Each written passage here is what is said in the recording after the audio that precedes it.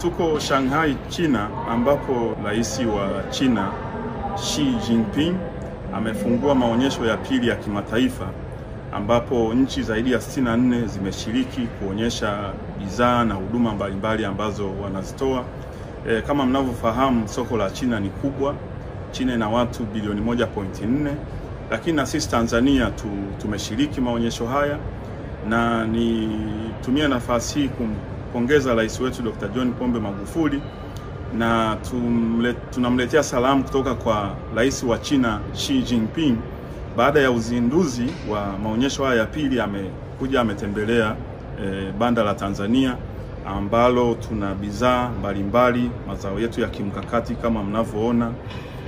Tuna tangaza, tumetangaza fursa za, za, za utalii mbalimbali zilizoko nchini na na mambo ya madini. Kwa mfano, Rais Jinping amependa sana Tanzanite, alivyokuja kwenye hili banda kaulizia korosho, kaulizia kahawa, chai na bidhaa nyingine ambazo tuna tunalima eh, Tanzania bara na visiwani, mwani, karafuu.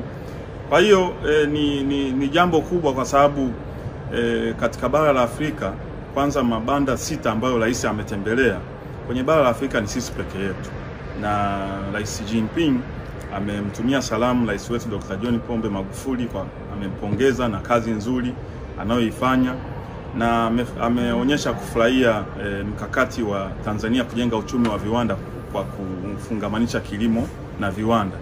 Kwa hiyo e, ni, ni, ni fursa kwa Tanzania na tu, tunataka mahusiano mazuri ya kisiasa.